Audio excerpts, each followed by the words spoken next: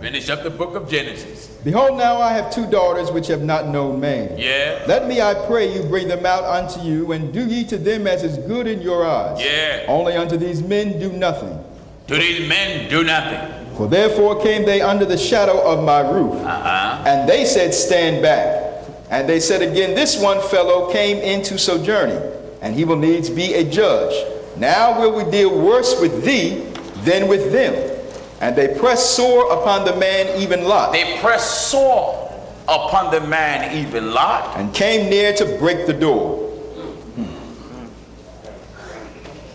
And they wasn't, he mentioned the book of Judges, how they cut up the woman. But they wasn't pressing on the door to get women. No. So what he would confer reference to in Judges, in this, totally two different incidents. That's right. Totally opposite as day and night. That's right. They wasn't pressing on Lot's house to get no women. No. No. The women was offered to them, offered to the men by the father, Lot. That's right. Now listen closely. And they pressed sore upon the man, even Lot, And came near to break the door. they want to break the door down. But the men put forth their hand and pulled Lot into the house to them, Yeah. and shut to the door. Uh-huh. And they smote the men that were at the door of the house with blindness, both small and great, Yeah. so that they wearied themselves They wearied themselves to find the door. to find the door. And the men said unto Lot, Hast thou here any besides, son-in-law, and thy sons and thy daughters? Yeah. And whatsoever thou hast in the city, bring them out of this place. Uh-huh. For we will destroy this place, because the cry of them is waxing great before the face of the Lord. And the Lord hath sent us to destroy it. Amen. If their deeds was right in the eyes of God, why would God want to destroy? That's right. That's right. Dr. Knox, you can come up if you like, brother.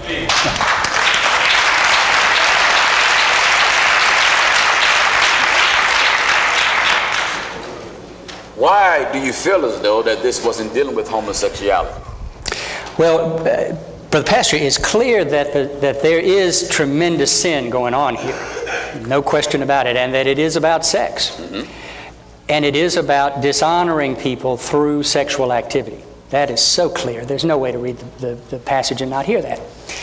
But what it is not about is a loving relationship between two people who God has, for whatever reason, and genetics may be involved, whatever may, we don't know what causes this to happen to people like me. But I can tell you what I feel for my partner is not a desire to humiliate him in the public street. Mm-hmm. That's what that story is about. So you're saying it's all right to have same uh, sex relationship uh, when you're married or Yes, I, I believe that there should be commitment. Uh, and, and you know, my community really needs to wrestle with this. Uh, no, nobody, you will never hear me say that we should be uh, indiscriminately casting around sexual favors Okay. uh, because every time you do, you give something away that you don't get back. All right. It's valuable and precious. God intends it that So way. you say that God, your desire towards your male friend is the will of God then. I believe it is. All right, let's balance it out with the scriptures and see who did God intend for desire to be when it comes to marriage. Man to man, let's see when that law was established, where the desire should be. Amen. Listen, In Genesis chapter 3 and verse 16, listen. unto the woman he said, Unto who? unto the woman he said, Unto, now this is the dialogue. Is it God's will?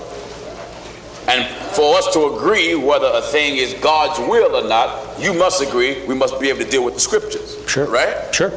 And so the only thing that would justify you today certainly would be the scriptures. Let- yeah, let me, because- let me, let me back that up. Yes. Let me, let me back that up a step. I believe that God has given us, and, and this is what Paul says in Romans throughout the book, not just in one, you know, chapter, one, one uh, verse that we might lift up. Yeah. But throughout the book, Paul says we have the gift of the Spirit Okay. for discernment. All right? Not everything has been covered, you know? Not everything is in the book that we're ever going to confront. It was written by people who were slave owners or the friends of slave owners. Okay. And so you get a, a bias in the book that the rest of the story, the story of, of the, the coming out of the people of Israel, mm-hmm. flies in the face of. And you have to balance those things. And you have to ask the Spirit, all right, I got two competing things here. I have some things that say it's all right to hold slaves, and slaves should obey their masters. And some things over here that clearly show that God is on the side of the oppressed and doesn't want people to be in slavery. And at that point, when the book is not so crystal clear, one has to listen to the Spirit. All right. And, and, and I think that's more important than jumping from text to text and saying, you know, this is the, the law and we got to stick with it. Okay, so you say let's listen to the Spirit. How do we hear the Spirit? We certainly hear it through study and prayer, but also in the congregation. Does the Spirit of God bring us anything that contradicts what's written?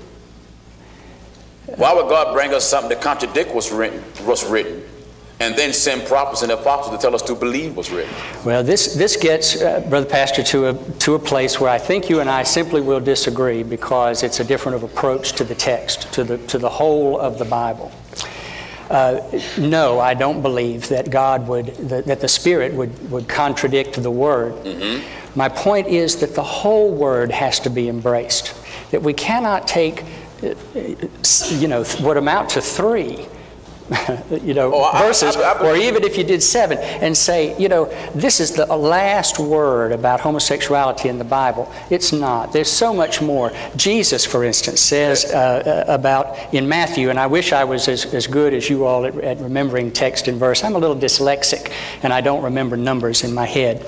But in Matthew, Jesus uh, says the sin of Sodom was inhospitality. He's very clear. It's a little short verse. And, and that, to me, counters um, whatever else we might say about the verse because my Lord said that. So, of course, I hear that with a different power than I do my own experience. But it is clear that, uh, that that's the issue So in that saying text. what Jesus was saying that the problem of Sodom and Gomorrah was they wasn't showing hospitality. And, and not just that. I mean, the word is so often in the Bible, no, the word no. The word no isn't about, as you say, reaching out and shaking hands. It's, it's a, a, a cover word, Well, it's a I- polite word. But, but what Jesus says is the people of Sodom were so mean and so disrespectful Okay. that they deserve to be destroyed. Well- and, and that, I think, is the issue. Well, I agree. They were mean, and they were disrespectful, but did they not manifest their meanness and their disrespectfulness and uh, not being hospitable by surrounding the house of one of those men? Wasn't that mean and It- it- disrespectful? It was mean and disrespectful, but, but let me put it more, more clearly, but, but delicately. I don't want to be vulgar. oh, well, you, well, you, you can be as Well- sharp and as raw as you like. Yeah, but I don't want to be too much.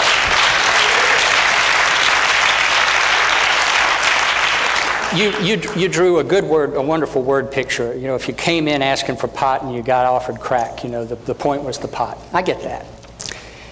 But if a man in the street is cut off by another man in, a, in an automobile, mm-hmm. and he uses the F word, he says, F you. Yeah. He doesn't mean, I would like to go and have consensual, loving sex with you. Oh, I'm pretty He sure doesn't mean don't. that. The, the point is the disrespect. The point is the hurtfulness. You know, the point is I want to do two things. One is to, to have power over you. I, I wish I could have made you not do that, you know. I feel powerless, and so I'm going to say, I want power over you. And, and pushing a man down and penetrating him makes him powerless in a significant way. But if if it's one- if it's a matter of rape now, Okay. if it's a rape. Right. And the other thing is, I want you to have a female role because still in our world, in spite of all of God's work and the Spirit's work with us, uh, we value women less than men. We're working on it, but we're not there yet. And, and that anger is manifested in not only I want power over you, I want to push you down, but then I'm going to make you act like a girl. I'm going to do the, to the things that I can think of that are the hardest for you to take. So that if he forced that upon him, that's wrong. Absolutely. So if a man consent to do it without force, it's right. It's a completely different thing. Is it right? It is, it is in my mind, sure. Okay. As, as it is when, when a woman consents to be penetrated by a man in, right. in the sexual you made act. a key statement. You said in your mind. Would you agree that God is the best mind? I, I do. We plan, God plan, but God is the greatest of planners. Would you not agree? I agree. All right, then let's go by the scriptures because see, if you say you're a Christian, that means you're Christ-like, I, I want to be. I work at it every day. and that, and that means you got to take whatever Christ said. Is that right? It does. All right. that's- I'm going to get, my water. Yeah, all right. You, can get your water and bring it up here if you like. Now, You're accustomed to being under these hot lights. I'm Yes, not. I am. And you're accustomed to being on the spot, and I'm not. well, well, basically, um, now listen. Let's get this. Glory to God. My, my, my, my sole interest is because, listen, viewers and brothers and sisters, this is a message that he's sending to the public. Basically, that it's all right for men to have sex with men if they are married. I can accept that on one term if God said it. Then I can accept it.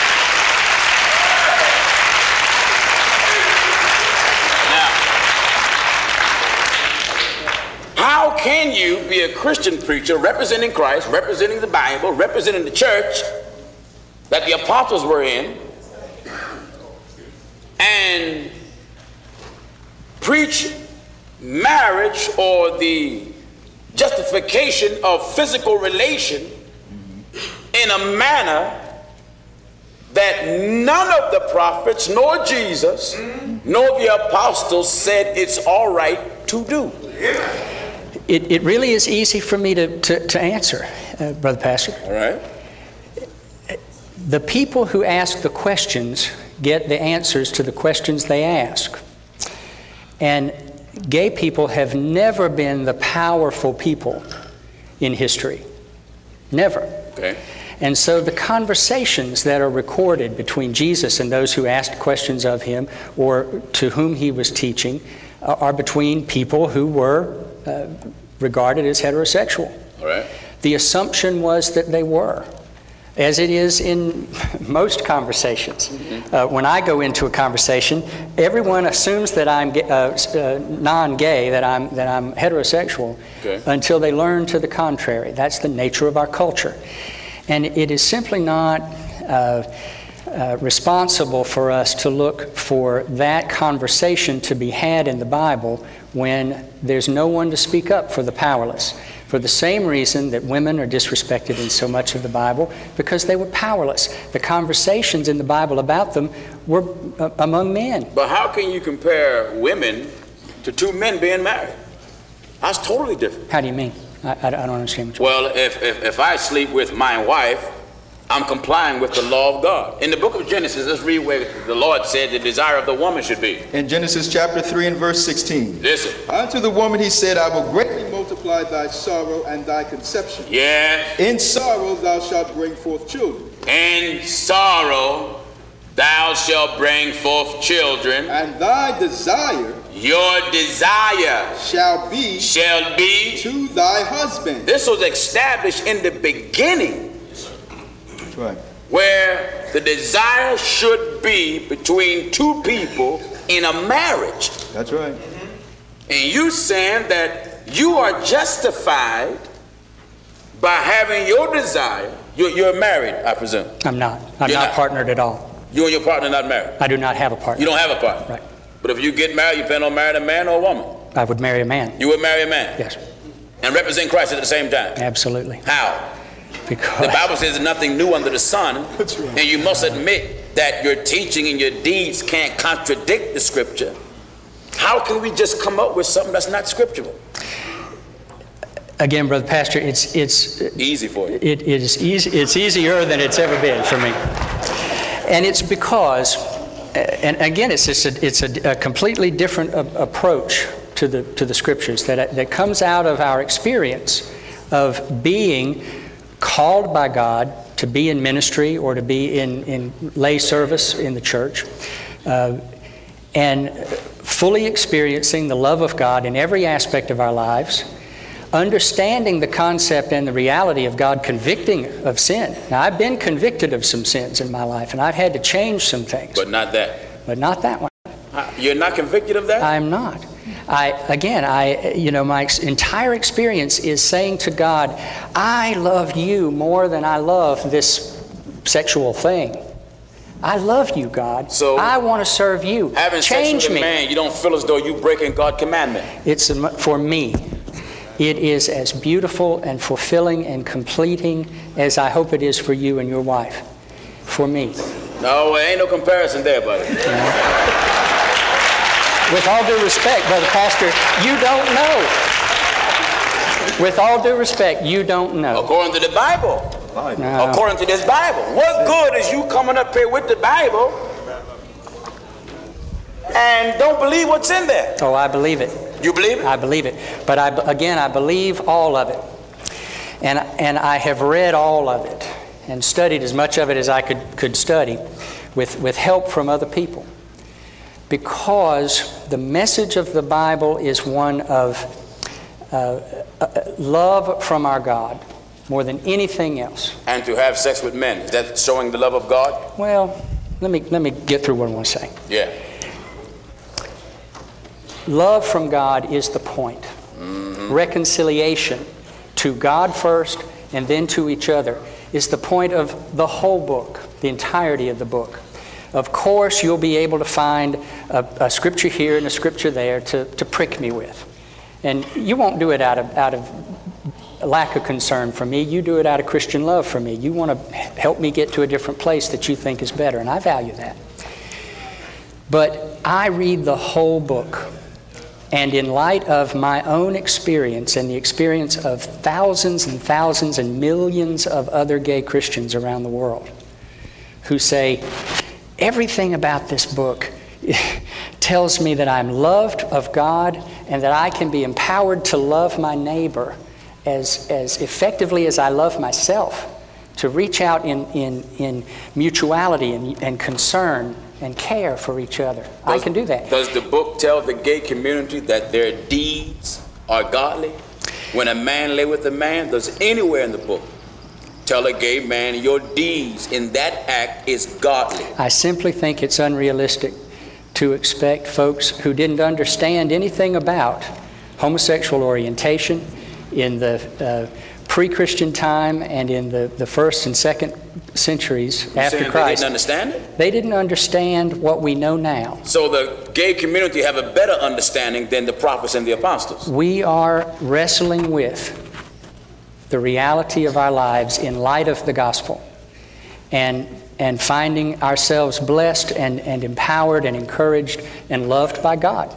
The scripture says this Whatsoever things were written aforetime is written for our learning, that we through patience and comfort of the scriptures might have hope. So, if God intended and wanted men to marry men, it would have been written so we can learn it's right. It would have been written. So, how, how can you make it special for self? Oh no. and oh saying no. that you are justified in laying with a man when you're married. How is that act scripturally, scripturally justified? Because see, we got it, God is involved in here. Because just to say that it's justifiable for men to lay with men if you marry. Would you convey that message if you got two 16 year old boys somewhere and the government will permit them to marry wherever they at? You would encourage two young boys or two young men to have sex with one another? I would, I would not encourage people who are too young to have responsible sex to have sex with each other. I, Uh, So what the age? 16 year old What age well, a man can lay with a man? I don't know when, you know, 18 works for the, for the consensus of the, of the uh, uh, country. So that- 18. That people should be able to make decisions about whom they would partner with. Regardless of what the Bible says. Brother Pastor, in light of all that the Bible says. Ignore it. No, in light of That's all. what you're telling them. No, I'm not. That's what you're no, telling I'm them. not. That's I'm what not. you're telling them. No, I'm not. Dr. Knox, you are telling the people, in despite of what the Bible says, wherever you feel, go for it. No, no. What, what you're telling no, them. I'm not. What I am saying to you and to, and to everyone else who will listen is the Bible encourages us, not encourages, but commands us Yes, to love God first right, and other people as ourselves. all right. Now, if I love a potential partner as I love myself, mm-hmm. I would do nothing to dishonor him or hurt him or make him less than human. If If, and, and all that I do with him should be done in the light of my mutual love for him and my love for God, just as I hope uh, all of you do in, in heterosexual relationships. And, and uh, to say otherwise, is, uh, that is sin. All right, let me hold you on one statement you made. That when you be with him, you, won't, you don't do anything to dishonor him. That's correct. Right. Let's compare your statement with the book. Amen. Let's see when he's with the man, is he dishonoring him? Mm-hmm. Even when he's being nice. That's right. Even when he's being consensual. Even when he agreed. Amen. Let's see, is that the act of dishonor? Romans chapter 1 and at verse 24. Listen. Wherefore God also gave them up to uncleanness. Wherefore God gave them up. To uncleanness. You better go up to verse 22. At verse 22. You see, I just believe all the book. And if we're going to believe what's in the book, it's the purpose of, you know, you go to churches, preachers, you know, they claim they got Bibles up on the podium. If you're not going to believe what's in there, there's no need to have it up there. That's right. Listen closely. Proverbs, uh, rather Romans chapter 1 and verse 22. Listen. Professing themselves to be wise, Yes. they became fools. What is it? And changed the glory of the uncorruptible God Uh-huh. into an image made like to corruptible man. Yeah. And the birds and four-footed beasts and creeping things. Wherefore God also gave them up To what? to uncleanness. Now, the Bible establishing an act that's unclean. All right?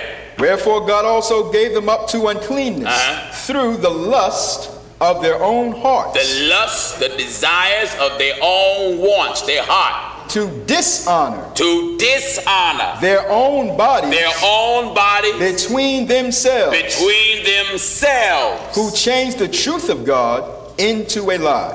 Holy. The truth is the woman was made for the man. That's right. That's the truth. And the scripture says you seek to change it. Change it. That's right. Now, if you're changing it, you're making man for man, woman for woman. The scripture says they seek to change the truth of God of God into a lie. into a lie.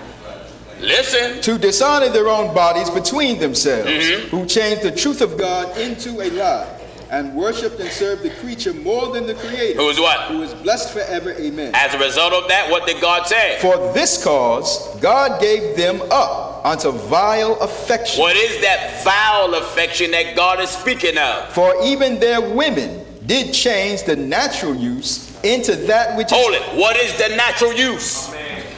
The natural use for the woman is what? The man. man. And the scripture dealing with changing natural use. That's right. Listen. For even their women did change the natural use into that which is against nature. Against nature. That's written. Do you believe that? That if a man loveth a man or a woman with a woman, it's against nature. I do not believe it.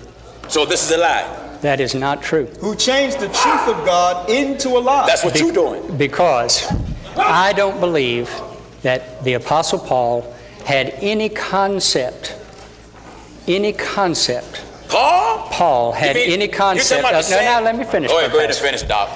Uh, let, uh, let me tell you one thing first and foremost. I'm not a, I'm not a, a doctor of ministry or a PhD. I don't oh. know where we decided I was Dr. Knox. I appreciate the honor, but it's not due me. I didn't How earn about just Harry? Uh, it. Good old Harry, All be right. fine. All right, come on.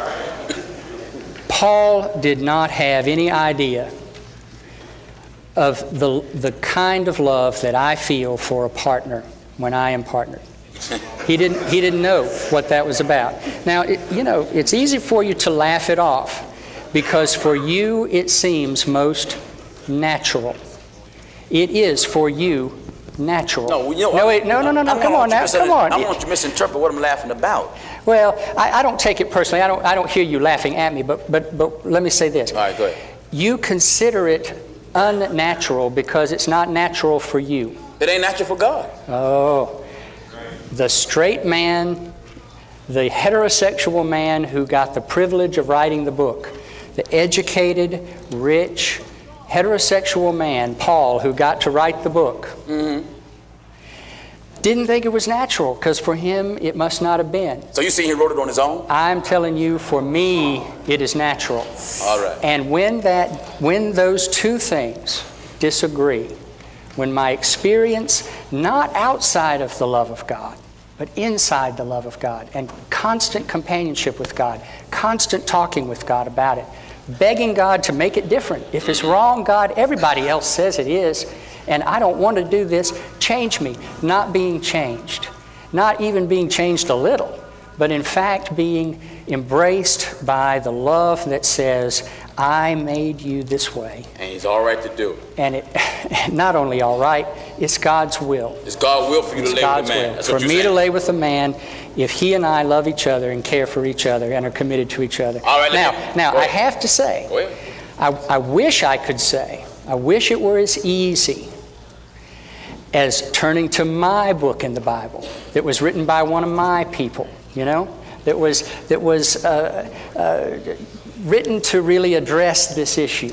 I wish it were that easy. So easy. you saying that Paul was just closed-minded and just didn't have no understanding about gay issues at all? I totally I- disagree Amen. because the book says this. Give me the book of uh, Romans. Let's see how the scriptures come about. Amen. The book tells us, in in fact, it lets us know. We're going to go to Romans, then we're going to go to Peter. That all scripture, all of the scripture, not some of it, but all scripture are given by the inspiration of God. And it go on, listen at this. In 2 Timothy chapter 3 2 Timothy chapter 3 and at verse 16, and verse 16. all scripture, How much? all scripture All scripture, how they come about? is given by inspiration of God. It ain't talking about a bunch of rich men, a bunch of male chauvinist men, right. or heterosexual. That was irrelevant. That's right. It says all scripture are given by the inspiration of God. And when we use the inspired scripture, what do we formulate? And it's profitable for doctrine. When you stick with the scriptures, your doctrine will be right, for reproof, your reproof will be correct. for correction, What? for correction, Correction. What else? For instruction Instruction in righteousness, in what's right. that the man of God may be perfect, Complete. thoroughly furnished Well, unto all good works. So Paul didn't write that on his own. Mm-hmm.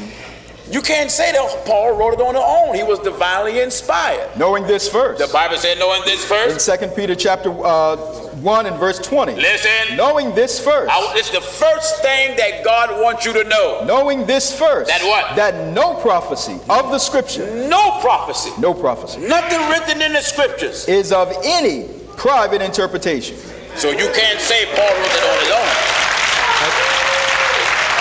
Now, Brother Pastor, the last thing that I would say about Paul was that he was not inspired by God and a, and a man of God, and that the words that he wrote were put down for our uh, use and edification, not our use on our own behalf, but for God's use in telling us how to live our lives. So- you and I agree about that. Now, Yes, let me yes, let me sir. let me have my turn. Go ahead, brother. There are so many scriptures in the Bible that are contradictory to other things in the Bible or for which we feel we, or beyond which we feel we have grown in our understanding of a simplistic interpretation. Mm-hmm. Let me ask you if you're going to condemn my folks to hell, now, this is serious business. This is not just you and I disagree about a political topic or something like that. You and I understand that the, the, the, the, the, the stakes are the highest. Mm-hmm. If you're going to tell me that my people are going to hell based on uh, these things, which again I gave other uh, information about that is not as simplistic as how you've laid it out But here. before you lay it on me if I'm gonna tell you, no, I wanna get ask me you. out of it. No, I want to ask you because because because it's important to remember. Okay. What do you say about a scripture that says, "Slaves, obey your masters"? Mm-hmm. It's simple, it's to the point, it's clear. Mm-hmm. What, what do you say about something like that? Let me give you some other examples. I want you, I'm sure you got an answer to that one, but let me give you some I do. others, I'm sure. Now, let me give you some others. Yeah. What do you say to the Holiness Code when it says, don't eat lobsters and shrimp? Yeah. It's an abomination. Mm-hmm. What do you say to the Holiness Code when it says, don't have sex with your wife who you love when she's menstruating? Mm-hmm. It's an abomination. What do you say? Uh, Anything you preach, to- we can do. Okay. I mean, all of those things. Uh, you, I believe, I don't want to pitch them at you by way of embarrassing you or making you lose a point in this debate. Okay? I'm not, I don't, I- I'm not I- trying to embarrass you. I- well, I know, but but but But- what I say to you about that is this. Why I say it is this. You, I believe, you have to hear all of those texts in light of everything else is in, that's in the book, that's in the Bible. All of the messages of God standing on the on the, the side of people who are misunderstood or powerless or strangers all of the things that, that, that the Bible says about Jesus' decisions to eat with people who were sinners Right. and, and not to justify their sin, I don't say that, but you know, to, to say to people, come and be with me. Exactly. You know, uh, I know you're not understood by everybody else, but I understand you. What, all of that has to be a part of the mix. The love of God, the, the, not just the condemnation of sin. God will convict us if, if, if we're wrong. God will convict us in our hearts. The other piece that for me is a proof, not just what's in the text. The So other things you don't that are take what's just in the scriptures. no, I don't. What- and, what- and, I, and you and I probably disagree You about go this, I'm outside of the scriptures to justify yourself. I, I justify things that I believe in f- through four different things. What are they? The scriptures are first, always. The tradition of the church, what we have learned from being the body of Christ together for many, many centuries. Mm-hmm. My experience, my experience, I believe, is a gift of God to me and to all of us. And God says that it is. Mm-hmm. And the reason that God has given me, the, the ability to reason and think things through. All four of those things from my tradition, the Wesleyan tradition, the United Methodist tradition in which I grew up, have value, not equal. Not equal. The scriptures are more important. The, the spirit is more important than experience or reason. But all of those things are important. And it's just not kind, finally, Well, for people who. yourself. I'm not. If you're saying the scriptures is more important than More all important. the things that you just mentioned, then why do you diminish the importance of the scriptures? I don't diminish it. by saying you don't believe them. I, oh, I don't. I don't say that. What I'm saying is, when I studied Romans, I didn't stop with 126 and 27. We're not going to stop. I went either. through the whole thing. You know, when I studied Leviticus 18:22, I studied the whole holiness code. Yes. And what I learned about it was God calls us to be special and chosen to be to live differently from the people who are not believers You're around saying us. God have chose the gay community to live differently? No, by us I mean believers. All, all of us who are Christians. So a, a supposed to live their life like Christ? As much as we can, sure. So if we're going to strive to live like Christ, was Christ gay? Christ was not married. Christ, uh, you know, Christ, as far as I can tell in the scriptures, never had sex with anyone. Does we the don't know script- Does the scripture say, does the scripture teach that Christ will marry the church? It does. It's, it does. Is the church called wife? Yes, by authors. again, by authors who understood a, a, a male-dominated society, I- I- ah, ah. with which I, I simply don't think the If you Bible want to deal us with Christ marrying, we can deal with that. The scriptures talk about how Christ will present unto himself a glorious church, and it compared the presentation of the church to Christ, Christ. and compared to the presentation of Eve to Adam, does it not? It does. So if it was God's will for men to sleep with men, for the Christian community that are looking, to the gay community that are listening and watching, all we're asking is if, if it's God will, and if it's justified by heaven, because there is no greater justification than what comes from heaven, That's right. then let us go to the scriptures and see where do God justify us. You keep telling me that this is uh, I feel as though, I feel as though. Give me the prophet Isaiah. I want to compare his feelings with God's feelings. I want to compare his thoughts with God's thoughts. Amen. I want to see does God feel about things the way he does. That's right. Let's listen at what God said. Amen. God Almighty said, My thoughts Are not your thoughts are not, are not, Isaiah chapter 55. Isaiah chapter 55, and we'll begin at verse 7. Listen, Let the wicked forsake his way. you hear that? Let the wicked leave his way. and the unrighteous man his thoughts. Now, you're referring to your thoughts and saying that you think that you're justified to do this. Mm-hmm.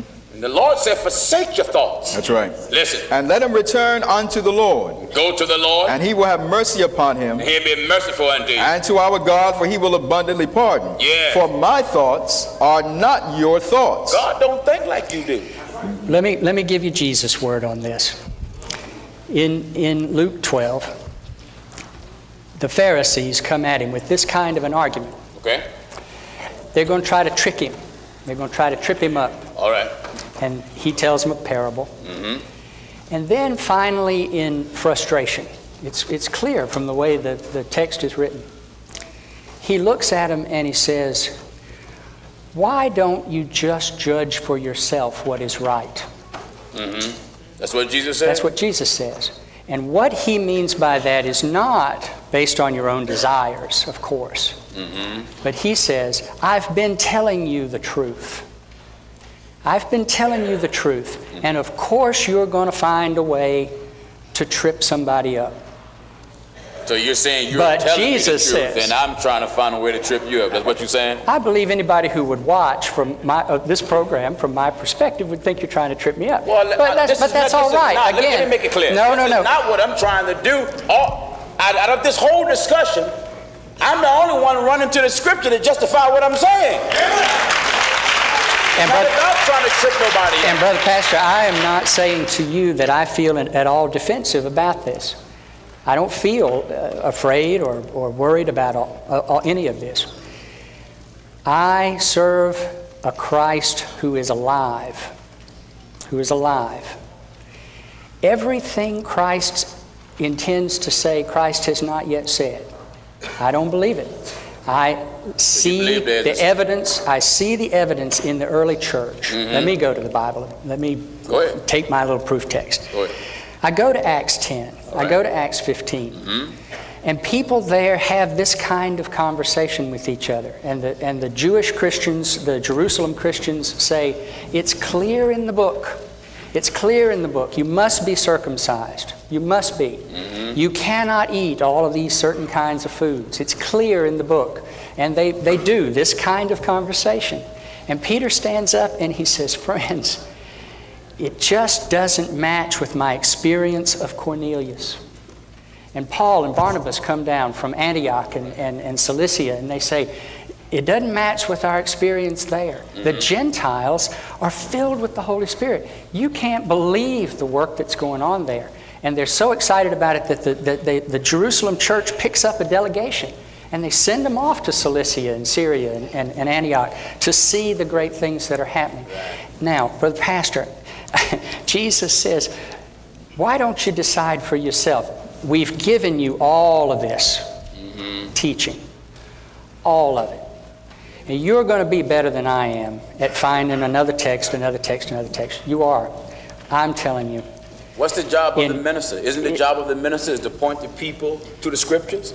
It is. It is and not I, our job to get up and give opinions and personal views, how we feel as though what should be, what shouldn't be. If we say we're ministers of Christ, it is our job to take the people to the scriptures so they can believe. It is, but it's also our job. It is also clearly our job to invite the Holy Spirit into the into the mix, into the conversation. Well, if I'm in the scripture and I'm dealing with the Holy Spirit, Jesus said, "The words that I spake You unto are you, they are spirit and they you are life." are, but you but I you and I simply disagree if you believe that the Spirit stopped speaking when the Roman Church decided in the fourth century that this was the book we were going to have. God did not another book for us stop. No, no, no. God did not stop speaking to us, though. God, in the tradition of the church, Mm-hmm. said to us, "This is enough now." It's not everything, it's not every single word it does. It says there's all that you need here. That's how I hear the text that, that you had read. All right. Everything you need is here. Mm-hmm. But it's not going to say, we prescribe these things for every issue. I've got a prescription for every single thing that's going to come up. What it says is, and Jesus, in his great promise, as, as he's ready to ascend, says, I'm not going to leave you comfortless.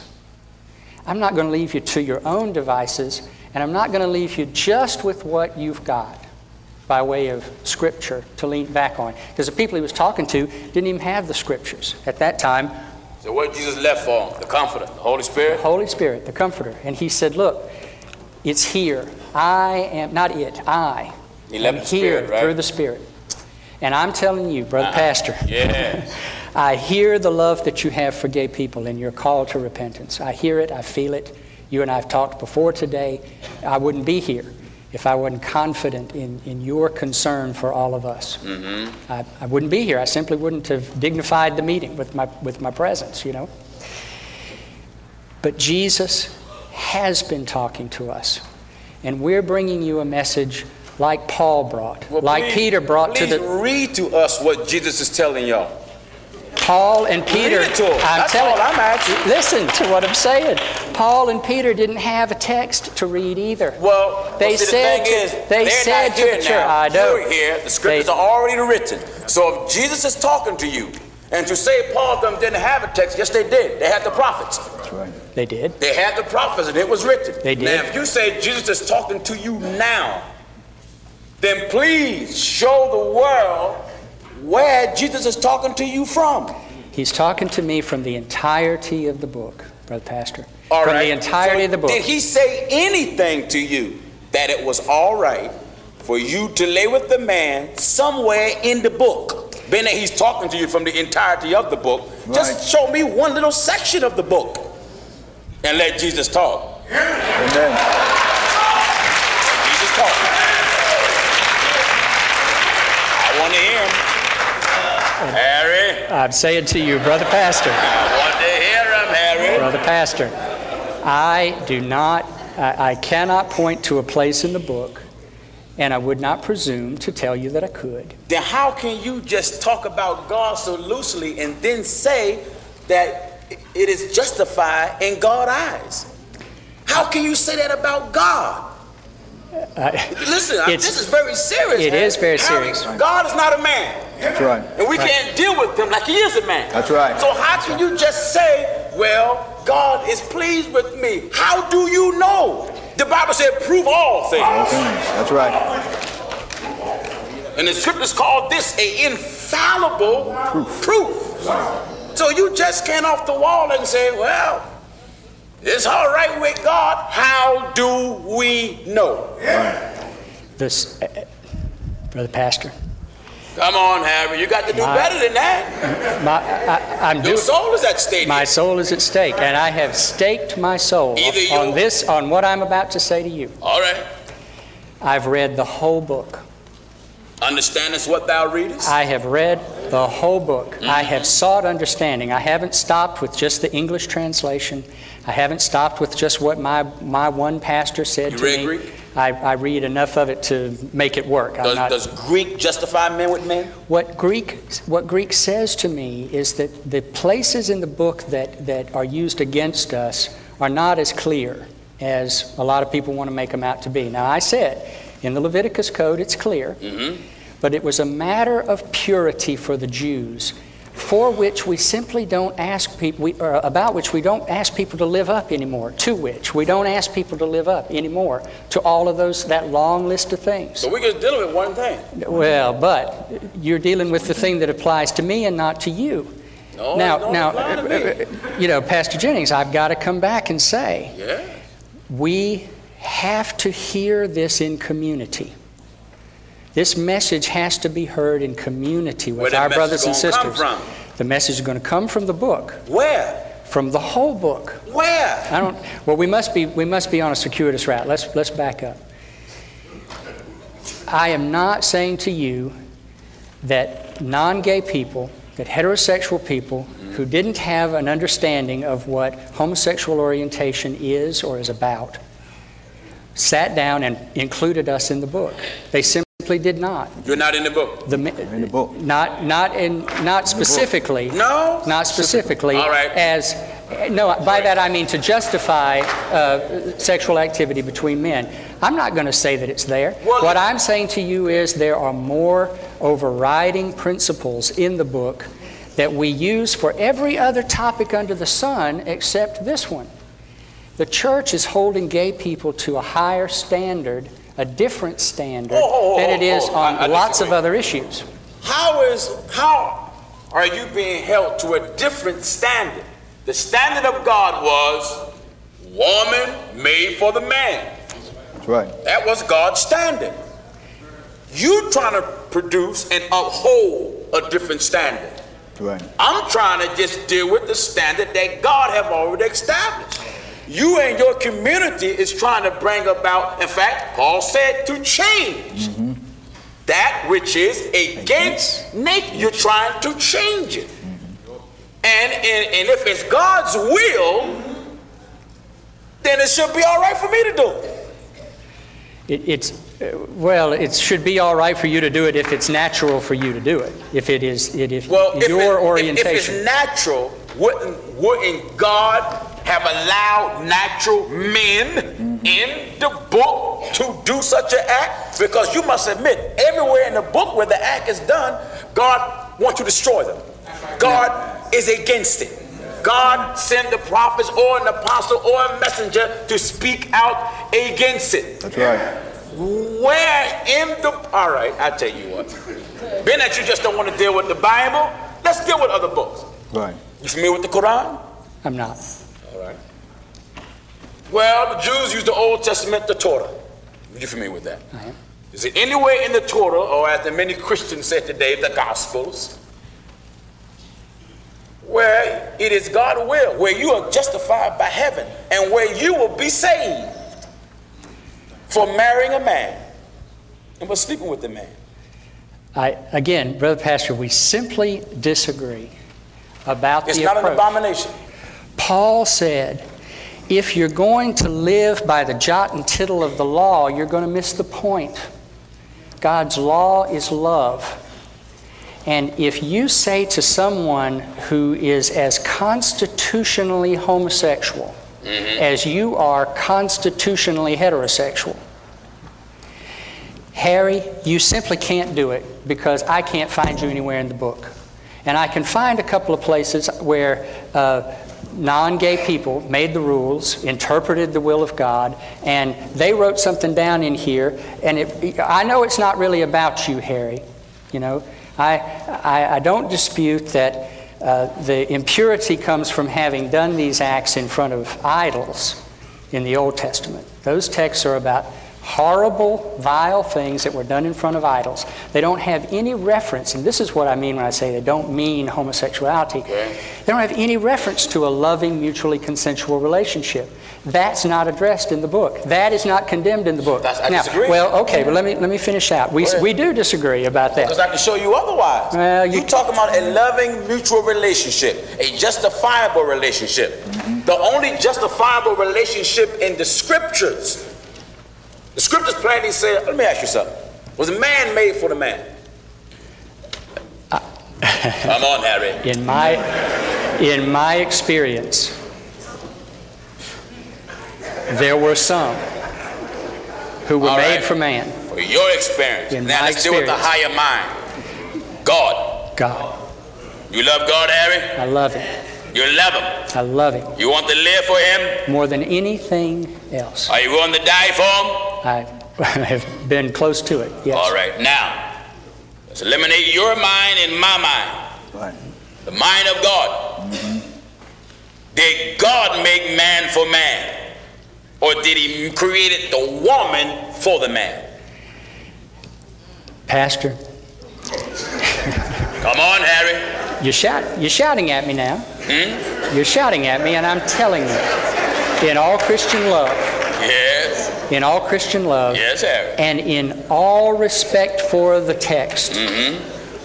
I know something that the people who wrote the text simply didn't know. Let's now, talk. oh, come now, on. Now, Harry. it doesn't, you know, I, I You know something understand. they don't know. That's right. You're deeper than them. On one topic that is true for me and for millions of the like, others like You're me, deeper than the prophets. I, we You're simply than have apostles. we simply have a different we have a different knowledge Come back than, and answer than my we question, did. Brother Harry.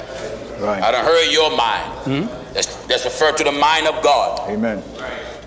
I ask you, did, did God make man for the man, or did God make woman for the man? Eliminate personal feeling. I feel as though. Let's eliminate my feelings and yours. I, I simply think that's a false choice, Pastor. A false choice? It's a false to talk choice. about God? Come on, Harry. It's a false choice. You're making me shout. It's a false choice. And here's why. And here's why. You are asking me, you are asking me if according to the book,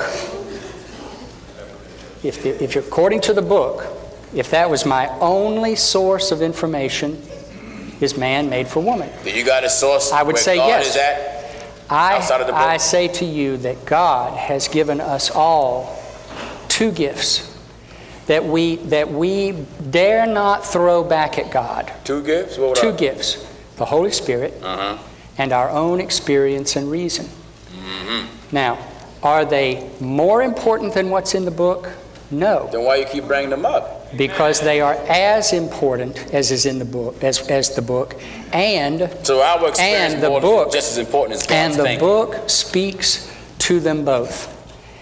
It is an entirety of relationship with God that I call my Christians, my brothers and sisters, to experience. Listen to what you just said. An entire experience with God that's not about a list of rules, a list of rules, but a list of guidelines that are given to us in love with the help of the teacher offered us every day. Every day. The teacher. The teacher, Christ, Jesus, Where you through the Spirit. from? Through the Spirit? He's going to teach us through the text and the Spirit and our experience Will the Spirit and our reason. lead you any direction that contradicts Scripture? If I believed that it contradicted Scripture in its entirety, Brother Pastor, I would still be on my knees about this thing, Now, Harry, you begging for tell me, do you begging believe- for forgiveness. Do you believe the Holy Spirit will lead us to go against Scripture in any form? I, I don't. I simply don't believe that what I do does that. Even though the Scripture plainly states that let a man leave father and mother and cleave To his wife. to his wife. Can a man be a wife? No. So if a man cannot be a wife, if a man cannot be a wife and two men getting married, is husband and husband?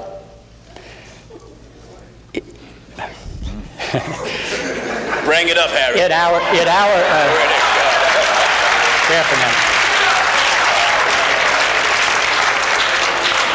In our experience in the gay community, we, we wrestle with language all the time. Okay. And we don't often use, we don't always use husband and husband or wife and wife. Some of us do, some of us don't. Okay. Others uh, believe the word partner to be better because we understand that this is not about domination of one person over another, and that is the source of the word husband, for instance. There's a lot involved in this. To husband is to care for and to own And to protect. and to protect and to do all of those things. But that's not our view of what the of where the Bible talks about uh, what marriage ought to look like, what relationship ought to look like. We believe now that, uh, again, in the entirety of the book and in the entirety of our experience and in all that we have learned, mm-hmm. women should not be subject to men uh, exclusively. But we ain't talking about women. We're talking about two men and, here. And you're asking me about a definition of marriage and wife. And you said, "As a man, can a man be a wife?" And I would say to you, I don't want to be another man's wife, and I don't want a wife. I want a mutual partner. If the word wife is about subjugation, being beneath, and being a servant to. I'm just not looking for that in a relationship. Is marriage sanctioned by God? I believe that it is. All marriage is sanctioned by God? As opposed to what? If the marriage contradicts the principle of scriptural law, would you say it's sanctioned by God? Well, again, I, I just think it's a circuitous argument. Of course, you I really think. don't believe the scriptures. I believe them. And I believe no. all of them. I listen to all of them, and I hear with equal authority. With equal authority. How can you say a scripture that says, "Let no man call unclean what God calls clean." Is, did God ever call your act clean? I'm telling you, He has told me so in my experience and in the experience of millions of you. other Christian believers who are homosexual. So you mean to tell me you're the only person in this building No. that God told what you do is clean? well, I don't know the hearts and minds and, and the Did anybody experience else of. in here God tell it was clean? God told you it was clean, sir? He told you that if what Harry do if he live with the man is to clean. Okay.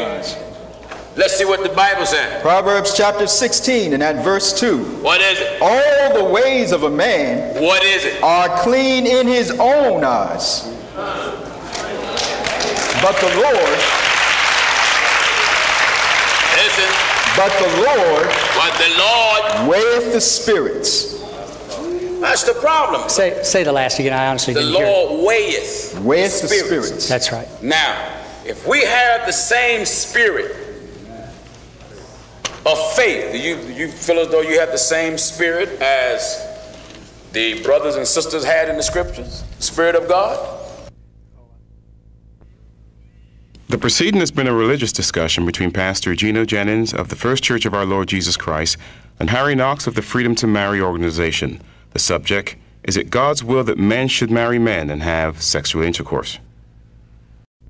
What is clear about that text is that they came to insult and humiliate those people How? through sex in public and through humiliating rape. When, they, when all of the men of a city show up at the door and say, Send these two guys out, we want to have sex with them, they're not talking about my love for another human being in mutuality and concern and care. So if they now, do it- wait, wait, wait, let me finish. Let me finish. Ahead. Hear what they're saying. Mm-hmm. They're saying, all of us are going to take a turn. Men on this side, most of you. Men in the, in the choir. Harry's the visitor. God forbid. Yes. But somebody was, some, some person they believed to be a human being. Now, he was an angel, but they believed to be a human being. They're going to put me down here, and first Dan's going to take his turn, and then this man, and then that man, and then that man, and then that man, and then that one, and then that one, and then that one. Now, this is, bless, bless your hearts. Sorry to have to, sorry to have to call it out, but you need the word picture. The word picture is not about consensual, loving sex. It is about gang rape. All right. It is about the kind of thing that, that conquering armies do. All I'm asking you is Now, if eh- it's consensual, even if it's consensual, is it justifiable by God? And I'm saying to you, Pastor, in all love, if you're asking me, is it justified in the book explicitly? I have already said over and over again, no. Is it inordinate affection? I don't believe it is. Is, now, is you is normal affection? It- affection? it is normal affection for me and for, For about 5% of the people in the world. So- Not many, but God gave you that attraction to that man. I believe it's a gift from God. It certainly has been so for Genesis. me. It has been my experience Brother that Harry, that's if true. you say it's a gift from God, Jesus said, believeth on him as the what? Scripture has said. Basically, you gave us opinion, your personal opinion, your personal views, your personal ideas. And we believe what's written. I often tell viewers if a minister is going to stand before you and talk to you about Jesus, talk to you about heaven, talk about God, then he should be able to refer you to what is written. Right. If you're not going to have the Bible in your churches, take your Bible and throw them out of your churches. That's right. Now, you you you you you minister to people. I do, not in an official capacity, but it has, it has been my task to do so through the years. You use the Bible. Yes. Why?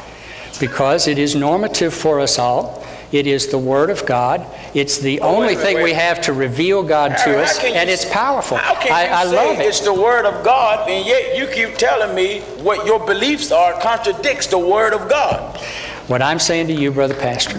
Now I'm going to say it one more time, and then let's let's don't go over this again because we I think we're just wearing it out. We simply disagree, and and that's all right with me. well, the thing that that But thing- no, no, no, no, no. Go ahead, sir. Go ahead. What I reject about how you are characterizing my belief, and I need to be clear about this, All is right. that I don't believe in the Bible and that I don't value it over everything else that we have as a source for wisdom and, and, and uh, discernment. I simply do, and you can't say whether I do or don't. You said Paul don't know what he's talking about. I didn't say that. Well, I, hang on, let me back up. I said Paul didn't know about me and people like me when he wrote about that thing. he wasn't inspired to say what he said. I believe that it has value for us, but I believe that the whole book of Romans says we should be listening to the Spirit. We should not be listening to our own biases. This is what you were doing. We should not be listening to our I own asked biases. when he read the book of Romans, I asked you, did you believe it? You said absolutely not. I don't believe that Paul understood anything about Paul don't understand it. Paul, Brother About Pastor. homosexuality? He did not understand, have any concept about a loving mutual relationship between two men any more than you or any of the, of the heterosexual men in this audience could say that you could sit down and write about that. Was that experience. Paul talking or was it God talking through Paul? I believe that God spoke through Paul in the entirety of the message of the book. Mm, So if God spoke through Paul, it was God that said they try to change the natural use? I believe Paul was. I, I believe Paul has reference there to idolatrous, uh, Idolatry? to idolatrous things, in addition to uh, to trying to get people to uh, see something as unclean and impure uh, by As the what? Jewish law, and it was. Again, I haven't disputed that. I But have simply said. I have simply said there, according to the Jewish law, it was, and according to Paul's understanding at the time, it was. And I am saying that the scriptures lead me to understand that my Lord, who is alive in my life today, You're speaking in reference to Jesus. Jesus, He's in your life. who is in my life today and guiding me, Okay. is also speaking as he spoke to people in the New Testament church. Mm-hmm. A new thing, A new thing. a new thing. And I'm bold to do it because. Let's because see, is it a new thing? Amen. Let's, let's see, is it a new thing? Now remember what you just said. The Lord is speaking to you a new thing. Let's see according to what the Lord said. Is it a new thing? In Ecclesiastes chapter 1, Listen. and we'll begin in verse 9. What is it? The thing that hath been, The Thing that hath been, it is that which shall be, It is that which shall be. and that which is done Holy, the thing that hath been. hath been. So if you say the prophets and the apostles didn't understand homosexuality, homosexuality is incorrect. Because they said the thing that hath been, It is that which shall be. see, you came later. Which let you know that the way men thought today, they thought yesterday. That's right. So it hath been. Hath been. Listen, And that which is done that which is done, is that which shall be done. and And there is no new thing under the sun.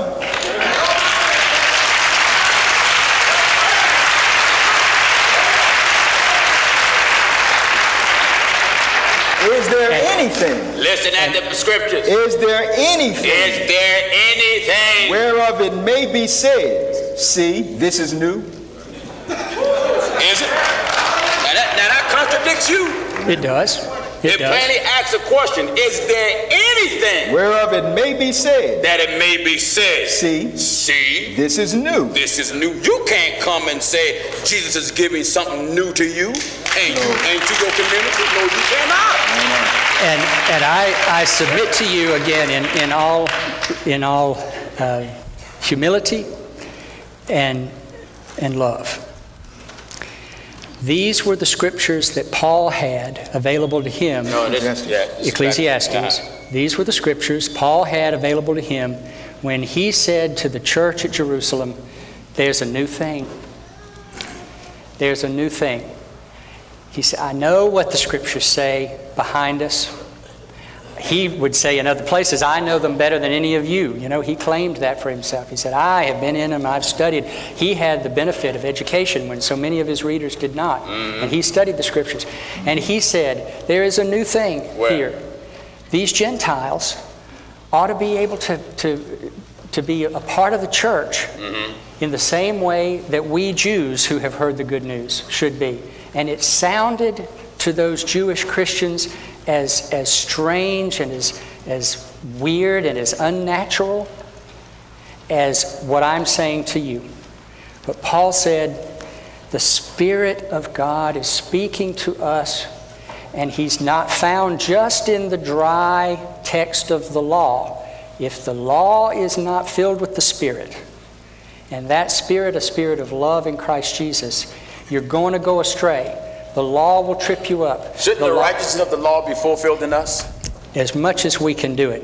And it is our task to seek that in prayer and, and, and supplication and time before God And what about time with the Spirit and prayer and always and always in dialogue with the Spirit.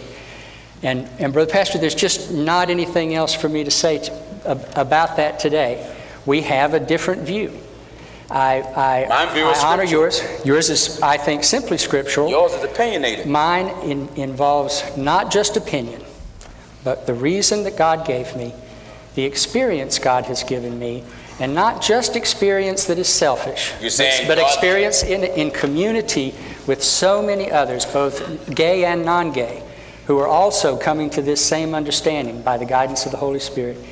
In dialogue with the Scriptures, always, always, and listening clearly, clearly to Christ. How, how Begging Christ to tell Christ, us. Harry? Uh, the same way you do, Brother Pastor. I get down on my knees after I have studied. I study routinely. Mm-hmm. I get down on my knees, at least uh, figuratively, not always literally, All right. sometimes literally. Mm-hmm. And I sit in the presence of God and I ask the questions that I need to ask.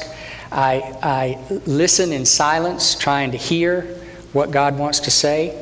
Also, I worship in a community that wrestles with hard questions, and I listen to my pastor who shares wonderful insights to me, challenging insights, insights that say to me, uh, lately, Harry, you're not giving enough money fundamentally important, fundamentally important question. You're not uh, husbanding the gifts that God has given you effectively. I was convicted a few weeks ago under her preaching that, that I wasn't giving enough, that I had not trusted God with caring for me But you enough. wasn't convicted about sleeping with the man. And, but I was not. But and what I'm saying to you, Pastor, uh, what I'm saying to you is, and, and you I don't find another, I don't know another way to wasn't say it. convicted. When, when he tell me he was not convicted, I can go to the Bible and find that. You And I'ma go to it. You can find well, and Uh, if you want to keep doing it, we can keep I- going I- through the through the I, path. I, got to deal with the Bible. I got to. But- to say you're a Christian and don't deal with the Bible, well, good night. No need to go to church. Hang out all night. Makes uh, sense, doesn't it? Well, it makes a it makes a kind of sense, mm-hmm. but it doesn't make full sense. No. It doesn't. It oh. doesn't match the relationship, the relationship that I have with God and with my fellow Christians uh, that allows me to uh, disagree with you and to agree with some, to disagree with some of those same folks about other things, and agree with you about some things, and, and not feel fully embraced by the love of Christ. So you're saying a man can be Christ-like, he can be like Christ, or strive to be like Christ, and still sleep with the man.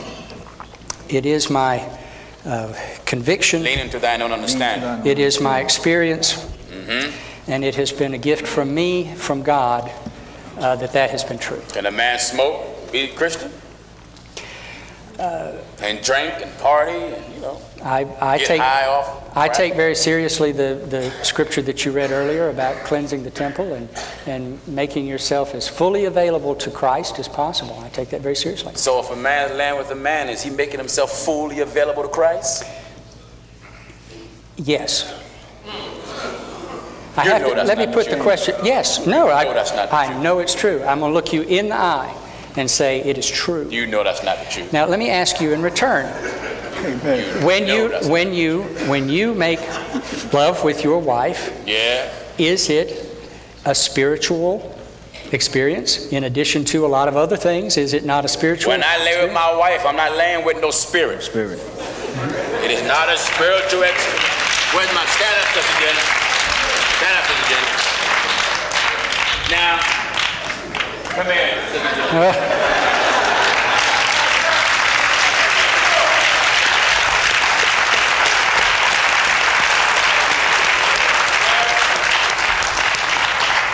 I lay with this. Has nothing to do with the spirit. Amen. We ain't speaking in tongues, ain't tongues to each other. Amen. Ain't no time for that. About business.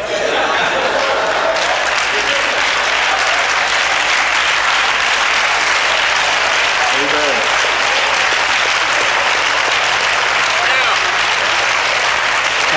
Now, I uh, uh, bless bless your heart. Thank you for going through that. You trying to tell me that you're having a spiritual experience when you laying with the band? I'm going to tell you that that I uh, loved a man who is now dead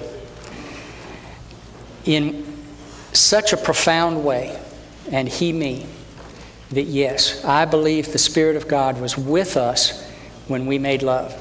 Was it always, or was it always a can you say religious? that about God? Was it always a religious experience? Not always. That's degrading But God. were there times when it when it transcended? What- I hope, gosh, I hope for all Well, of you and for you, Pastor. I hope for you. You was under the anointing? It, yeah, absolutely, My Lord. My absolutely, absolutely. What It did you as- get from God? just a minute. Just a minute. What did you get from God Almighty? Because when you're saying that you was anointed when you was doing this, you're saying God sanctioned it. Right. What did you get from God when you lay with a man? The gift of mutual love and care that was Oh, you that got was fleshy satisfaction. You don't know that, brother pastor. You just simply cannot say that about I me. say that about this book. I can, We're talking about about me at this point now, and don't and please be please be careful.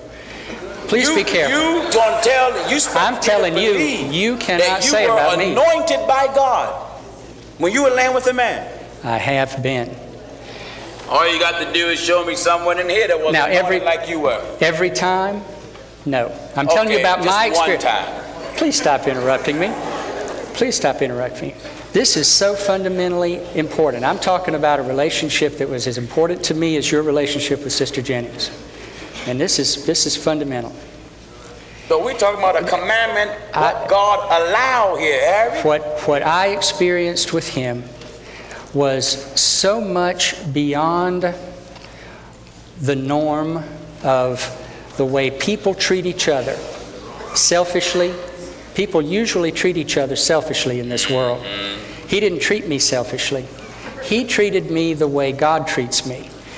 He treated me the way God treats me by, by reaching out to me in love and care and mutual concern. Concern that was all about me and not about his needs. And I reached out to him in the same way. Didn't happen every time. Would that it were. Would that I were that good. Uh, a husband, a, a, a partner. Would that I were. But when it was wonderful and right, it was exactly that. Spirit It was a it was a spiritual Spirit of connection. God was in it. Second Absolutely. Peter. Let's see what the Bible says. Second Peter chapter 2 We'll begin at verse 6. Listen, And turning the cities of Sodom and Gomorrah into ashes, turning the cities of Sodom and Gomorrah into ashes, Condemn them with an overthrow, condemn them with an overthrow, making them an example making them an example unto those unto those that after should live ungodly, after should live ungodly. and delivered just Lot, Live a just lot, vexed vexed. with the filthy conversation of the wicked. What you have with me now is a filthy conversation. You're going to blame God and say that He got you involved with the anointing to lay with the man, and then He going to tell us that it's wrong for man to labor with man by scriptural text. Vexed Well, that text, righteous soul. that text doesn't say that Sodom was destroyed because of homosexuality. It just doesn't. It tells And us the- that Lot was vexed. For that righteous man That righteous man dwelling among them, dwelling among them, and seeing and hearing, seeing and hearing, vexed his righteous soul vexed his righteous soul. from day to day By with, what? with their unlawful deeds. Their unlawful deeds. And their deeds were unlawful. To, hu- to humiliate another person, to humiliate another person in any way, Were they penet- they wanted to penetrate a man, correct? they, they did. They wanted to penetrate a man. They wanted to penetrate a man, but they did not want to do with him what my partner and I do together. They're What- simply two different things. They wanted to rape a man. Now, let me ask you this in return. Go Again, ahead, sir. let me ask you this in return. Go ahead. What does it say about Lot that he would offer his daughters, or that householder in Gibeah, that he would offer his daughter to people to be raped instead of a man? What does it say about it? What do we take away from that?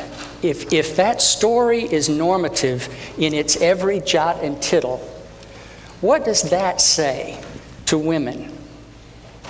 Well, it says something to women and to men. Mm-hmm. And it, it talks to men, it talks to women, and it shows you the standard of God, the order of God. That's right. One, yes, they wanted to do a group rape thing. Right.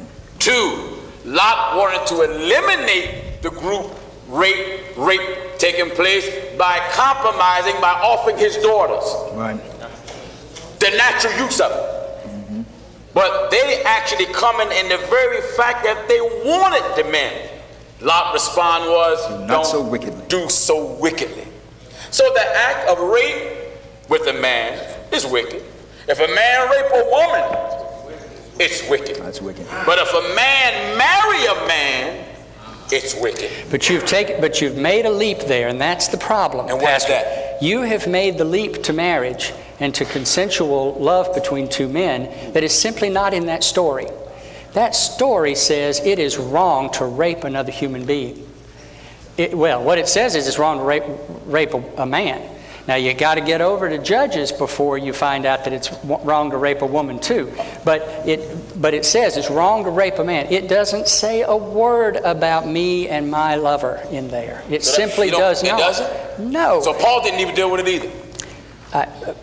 I, I'm not saying that Paul didn't deal with it and that Paul did not. I have said to you. So the scriptures did deal with it. I have said to you that in three places, in the Leviticus Code, in the Holiness Code in Leviticus, in those two texts, and in the Romans text, uh, it is clear that homosexual sex was not sanctioned as a part of the, the experience that, that was recommended to, to Christian people. So please tell me, why did God sanction you and didn't sanction nobody else? I'm saying to you, I'm saying to you I don't think you're that special. that I wouldn't, I wouldn't claim it on that basis. But that's that's what it sounds like you're doing. I- you you give you talking to me like God have given the gay community special sexual rights. Right.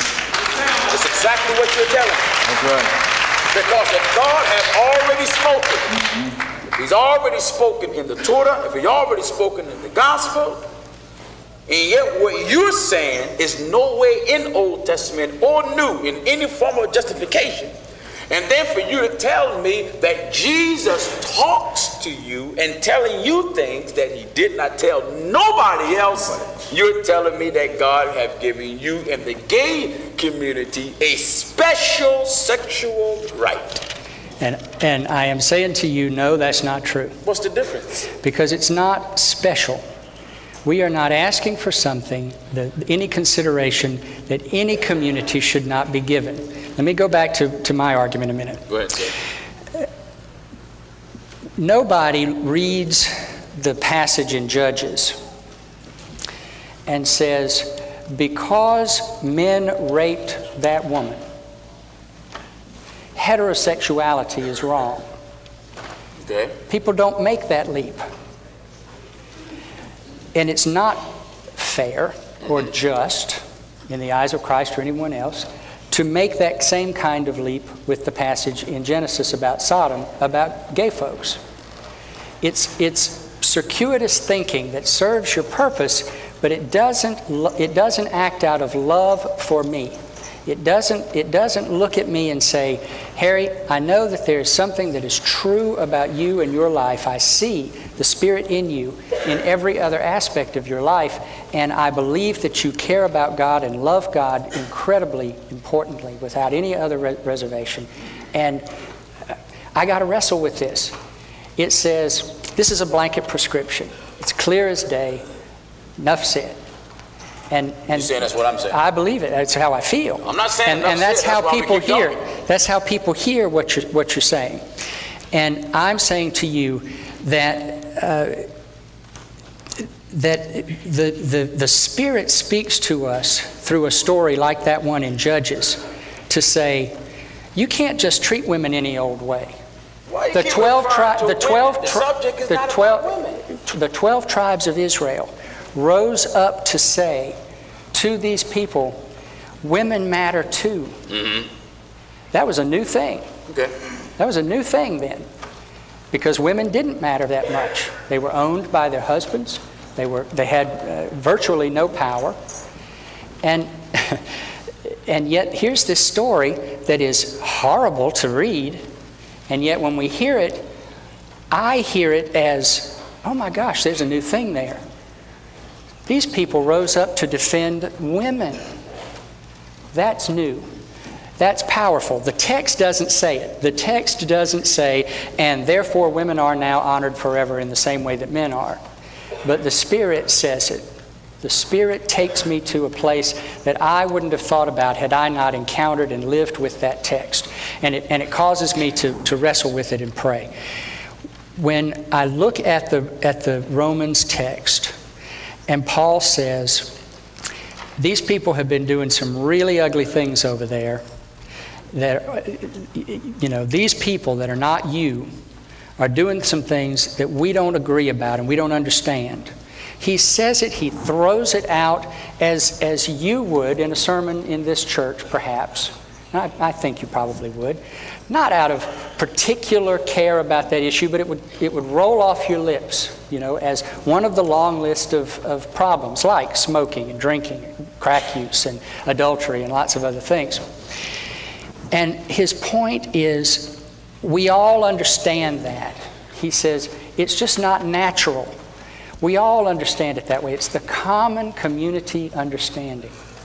And I'm saying to you, Brother Pastor, as a brother in Christ, I'm begging you on my own behalf and also on behalf of my sisters and brothers who are gay, we're asking you don't just stop with the common understanding.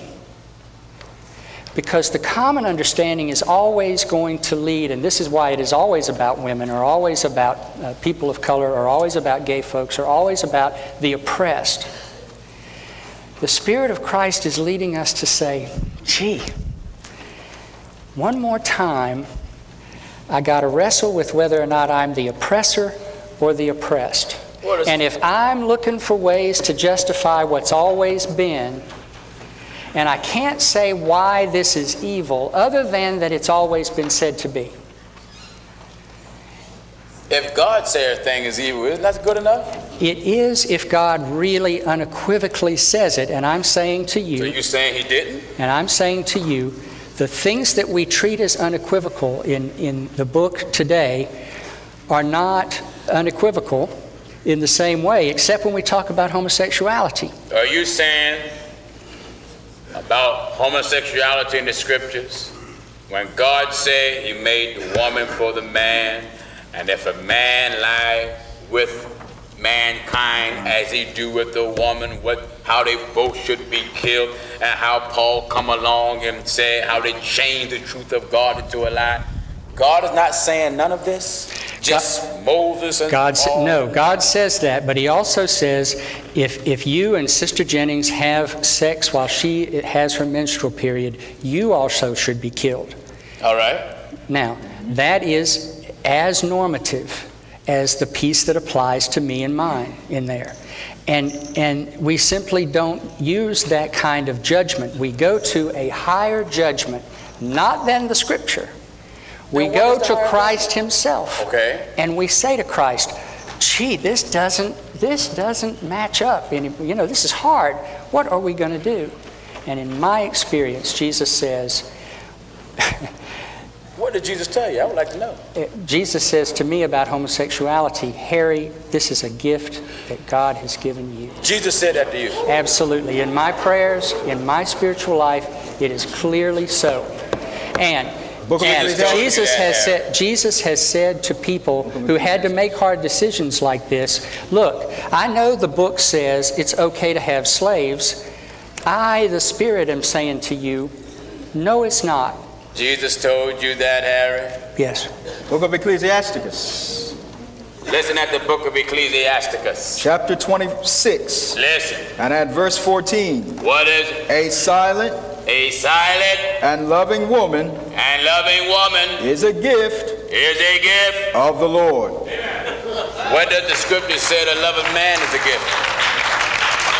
Well, Come on, Harry. You're in a text. we- No, I need to be quick to say you're, you're in a text that I, I don't accept as uh, as part of the canon. That's that's outside of the canon that my Well, my faith You say it's believes. outside the canon, but will you please show us anywhere in any scriptural text where a man is a gift from God to another man? Amen. And I'm saying to you again, Pastor, It's not in there, is it? it's not in there. It's not in there. But, you that's still- not still all. hold on to it, right? I do because that's not That's the all I only source. That is is not and cannot be the only source of our of our faith. Thank you for the dialogue, brother. Thank you, brother. All right.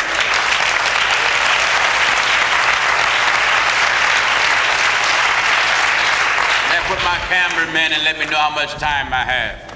All right, we have some more time left. Let me dive into the Bible quickly. How's that? Six minutes I have? 15 minutes. I can rack my balls on the table in 15 minutes and put one of the scriptures right in the corner pocket. That's right. Now listen, viewer. Amen. I want to thank uh, Harry Knox for being here.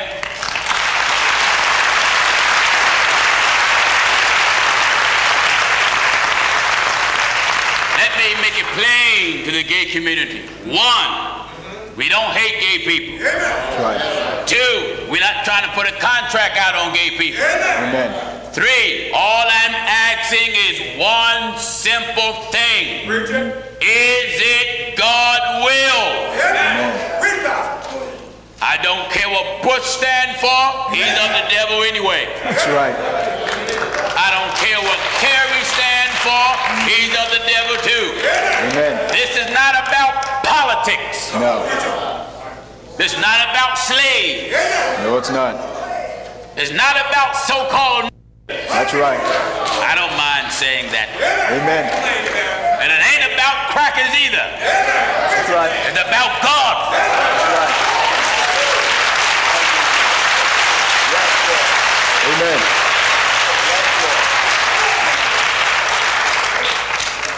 This is about God's divine, infallible, perfect law that we cannot make fit us. That's right. The law of God is not designed for you to make it fit you. That's right. You must make all the changes to try to fit into it. Amen.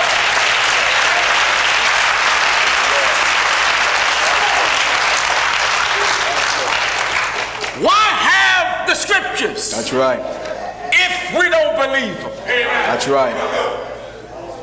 All scriptures are given by the inspiration of God. So if all scriptures are divinely inspired, then no prophet, no apostle wrote anything by his own opinion or by his own suggestion. That's right. What scripture says the holy men of God spake and they was moved by the Holy Ghost or they was moved by the Spirit. That's As right. God moved upon the face of the deep. Amen. God moved upon the prophets and guided their tongue. That's right. This is why the book says in John, first St. John 1 and 1, in the beginning Was the word. was the word. Hold it! God bears the title Word. That's right. Lord. Why does God bear the title Word? Those things that never exist came into existence through the usage of speech. Amen. God speak and let it come into being. That's right. The non-existence began to exist. Amen. So God bear the title Word. That's right. God used prophecy to bring those things to pass. So if we come late on the scene, come on, preacher. Amen. if any of us come later, then if God talked to anybody today, Hey, that's right. it cannot contradict the former brothers who was here yesterday. That's right. That's right. That's right. We got to have the same spirit. Give me that, real quick. Amen. Give me, let me show you an example. You people that says there are three gods today. And you said the Lord revealed to you there's three in heaven. Three separate and distinct personalities. You are saying the Spirit is guiding you to contradict the first commandment. Hear, O Israel, the Lord our God is one. So to say God is guiding us in a direction that contradicts the prophets, Jesus said, "Thy fool and slow of hearts, believe all what the prophets had said." Jesus advised us. That's right. That's right. Jesus advised us, believe the prophets. The apostle come along later and said, be mindful That's right. of the words which spoken before. before by the holy prophets That's right. and the commandments of us, the apostles. The apostle said, be mindful. Be mindful. If we're not going to respect Amen. what they said, Amen. As they got the revelation from God, not to respect the prophets, not to respect the apostles, That's is right. disrespecting God. In 2 Corinthians chapter 4, Listen closely. 2 Corinthians chapter 4 and at verse 13. Yeah. We having the same spirit of faith. Get this faith is belief. Mm-hmm. And the scriptures tells us we have the same spirit of belief. According, According- as it is written. Why, why, why do I refer to the Bible? According as it is written. Where our belief should be, As it is written. our belief should be according to scripture. What's written? That's right. Not made up, not idea, not opinion. Anything we say about God, let me let me toss it at you. We cannot know God beyond, Beyond. what's written. That's right. Everything that God wants you to know about Him is written. It's written. Amen. Someone say, well, it's a secret. The Bible said the secret things belong to God. That's right. Anything that's secret, That's right. it belongs to God unless God it known. That's right. And if God want a secret thing known, he reveal it to his servants, the, prophets. That's right. And give them a message and a divine revelation to make the secret thing known. That's right. Listen, We having the same spirit of faith. we have the same spirit of belief. According as it is written. According as it is made up. According as it is written. According as it is an opinion. As it is written. A suggestion. As it is written. A idea. As it is written. A thought. As it is written. We got to go by what? As it is What's written. everything that's written for time and written for our learning that we through patience and comfort of the scriptures might have hope. That's right. Listen. According as it is written. How do we feel? I believe. I believe what? As it is written, I believe. You gotta believe what? As it is written, I believe. You gotta do what? As it is written, I believe. And when you believe what's written, what would you do? And therefore have I spoken. That's what got my mouth jumping. That's right. That's right. That's right. That's what got my mouth jumping. That's right. Amen. I believe what's written. Amen. Our faith is confined in Scripture. That's right. We believe in the God of the prophets. That's right. We believe in the God of the apostles. That's right. Go ahead. They left us the message of God in Scripture. Amen. Now, if we're not going to believe the Scripture, That's right. we cannot be followers of Christ. The knowledge of the commandment. Listen at the Scriptures. The book of Ecclesiasticus, chapter 19 and verse 19. What is it? The knowledge of the commandment. The knowledge of the commandments of the Lord of the Lord is the doctrine of life. Thank you, Jesus. doctrine is written. That's right. Solomon said, I give you a good doctrine. Good doctrine. That's right. To get doctrine, if the scripture says all scriptures are given by the inspiration of God and it's profitable for doctrine. For doctrine. To have your doctrine Yes, correct, you got to have scripture correct. That's right. If your understanding of scripture is wrong, your doctrine is wrong. That's right. And therefore you become one that pass Mm-hmm. false doctrine, false concepts to give people false hope. That's right.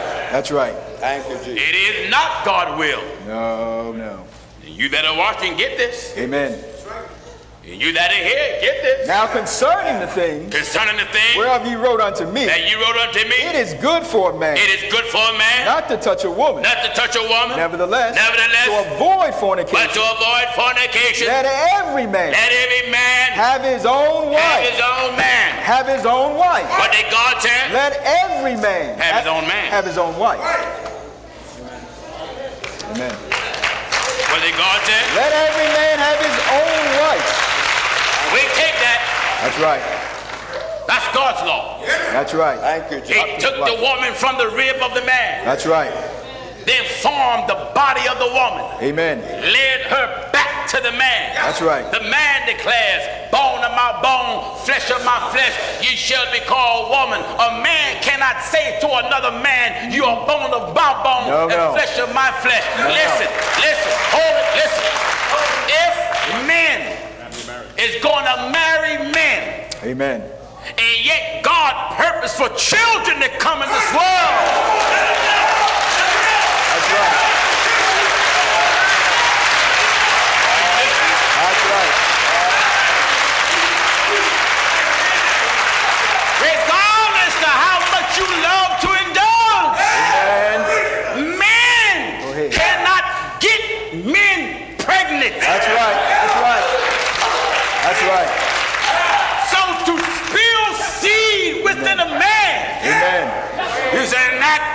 Corruption. In fact, you challenging the wisdom of God. That's right. That's challenging God wisdom. That's right. God is the best mind. Yeah. God is the best knower. Yeah. He come along and make man to be the reflection of God. That's right. And making woman to be the helpmate of the man. That's it. That's it. And then woman will be in childbearing. That's right. We can't change that. No, no. Can't change it. So when men come along, Amen. laying with men, mm-hmm. as you do with the woman, Amen. then if that's justifiable, then it's justifiable for someone to lay with animals. That's right. That's right. That's right. God purpose Yes, for the population to keep growing. That's right. Without women. Let's see what the book says about this. Now in First Esdras chapter 4 and at verse 17. It says what? And without women And without women, cannot men be. Right. Amen. without women, Without women cannot men be. not man exists. That's right. That's right. Man comes from the womb. All men. Listen. In the book of the Wisdom of Solomon, chapter 7 and verse 6, all men have one entrance have one entrance into life, into life. and the light going and out. the light going out. I myself, I what? I myself Solomon said, I myself also am a mortal man, am a mortal man. like to all, Like to and everybody. the offspring of him that was first made of the earth, Uh-huh. and in my mother's womb And my mother's womb was fashioned to be flesh. Amen. Amen. It is in no part of the man body Amen. that God ordained Amen. for another man to get pleasure from. That's right. Not one part. That's right. That's right. All right, listen. Amen. Amen. It's not one part One part. Thank you. of the body of the man That's right. that God ordained Amen. for another man to get pleasure from. That's right. The gentleman said that he is not convicted. Mm-hmm. That's scripture. Go back to Romans. Amen. Romans chapter 1 Listen closely. and at verse 21. All right? Because that when they knew God, They knew God. they did not like to retain him as God. They didn't want to recognize him as God. At verse 28. Move quick. And even as they did not like to retain God in their knowledge, Yeah. God gave them over to a reprobate mind And? to do those things which are not convenient, Yeah. being filled with all unrighteousness. You better go back up to 22. Move fast. For, for the invisible things of him from the creation of the world Yeah. are clearly seen, And what? Being understood by the things that are made, mm-hmm. Even his eternal power and Godhead, And? so that they are without excuse. They don't have no excuse. because that when they knew God, When they knew God, they glorified him not as God, Now, if you know God and God is good and God is the Savior and God is the keeper and God is the provider and God That's is right. the healer. That's right. But when you don't glorify Him as God, that means you don't give Him the respect that's due Him. That's right. The Bible says with their mouth they profess they know God, but in works they deny Him. Because that when they knew God, When they knew God, they glorified him not as God, respect Him as God. Neither were thankful, Neither are they thankful. but became vain. it is not the nature of God Amen. that another man play the role of a woman. That's right. That's right. Talk to me. That's right. It is not the will of God that a man play the role. Amen. A man that's li- listen. Let me get wrong with you. Go ahead. A man, Go ahead, man. Go ahead. Whether you're laying with your feet up in the air That's or on your knees like you're bowing to the master, Go ahead. Go ahead. God had never purpose Go ahead. for a man Go ahead. Go ahead. to lay with the man That's right. as he do a woman. Woman, that's right. That's right. You can't name no part of the man body Amen. that was designed for another man. That's right. That's It's right. not designed not for another man. Amen. But the Bible plainly states that the woman was designed for the man. For the man. So is it the Bible said that? Yeah. First Corinthians How chapter did it 11. say it? Listen at the scripture. 1 Corinthians chapter 11 at verse 9. What is it? Neither was the man created for the woman, Neither was the man created for the woman, but the woman but the woman. for the man. You see, the woman, your body was designed for man. That's right. Fit the man. That's right. Fit the man. That's right. Man, you have to force entry. Amen. Try to make it work. That's right. That's right. That's right. Yes, I said it and I meant it. Amen. Go ahead. Go ahead. Go ahead. Genesis chapter 19. I'm not trying to pick on the brother, No, but I must preach what's written. that's right. That's right. That's what I'm sent to do. I'm not sent to give you suggestions and ideas and made up fabricated material. That's right. If we're not going to believe the book, then everybody should just pack up and go to hell. That's right. Amen.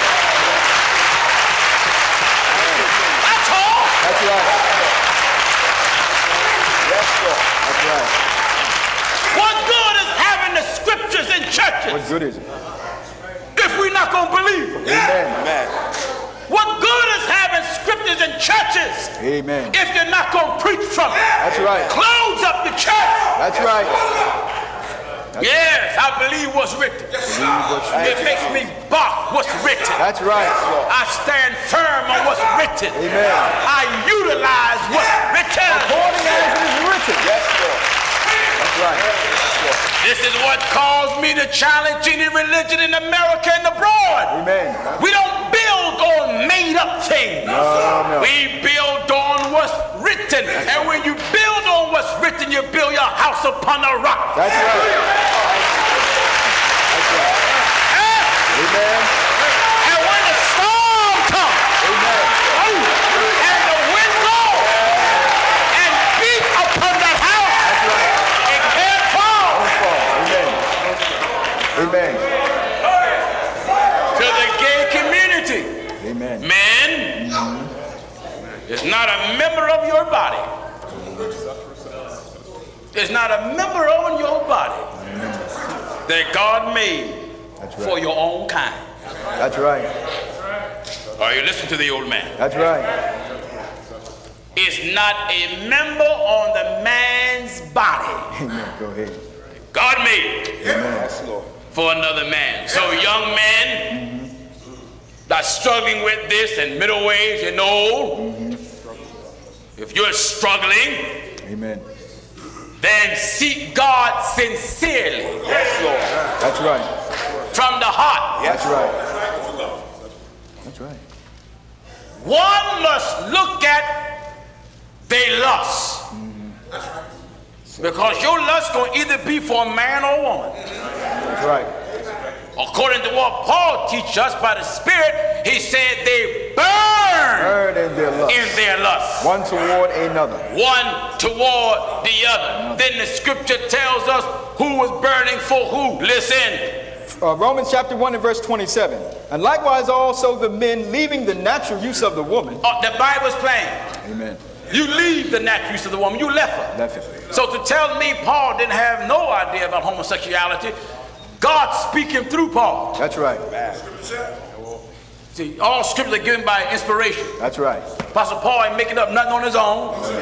He's being guided by the Spirit of the living God. That's right. the master of all creation, Amen. the sustainer of all worlds. That's right. Listen, And likewise also the men. The men? Leaving the natural use of the woman. there is no other alternative. No.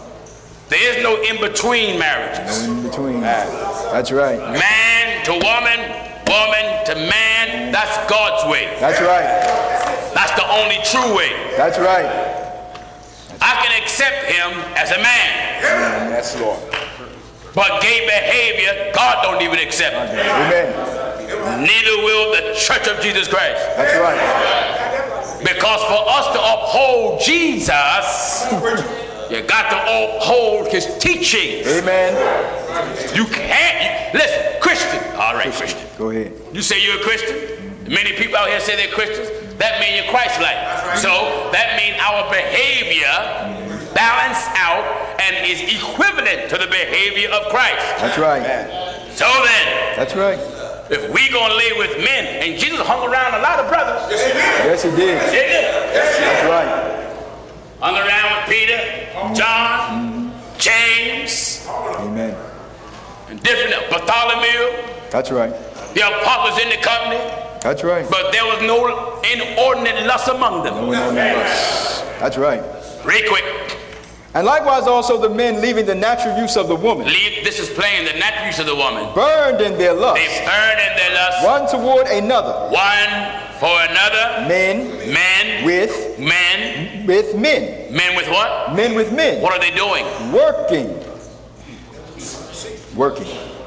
Don't just stop there. Working what? Working that which is See, you just can't say working. That's right. Because folk may think that mean carpentry or laying brick or brick mason or it is plumbing. That's right. Amen. Wrongful pipes being laid. Amen. Oh yes, anyone that knows me know I'm very raw in my preaching. That's right. Sin, I am not going to try to make sin pleasant. We're not going to dress it up and put a bow on it. That's right. We're going to call a spade a spade. Amen. Amen. Read quick so I can knock off. Men with men working that which is unseemly. Yes. And receiving in themselves the recompense of their error which was meet. No, it's right to do. And receiving in themselves the recompense of their error. No, it's right to do. Error. You see the language of scripture is right. Error. When Error. a thing is an error, it's wrong. Wrong. That's right. The book says error. Error. That's right. Listen. And receiving in themselves that recompense of their error which was meet. Yeah. And even as they did not like to retain God in their knowledge, Yeah. God gave them over to a reprobate mind. When you got a reprobated mind, there is no conviction. That's right. That's right.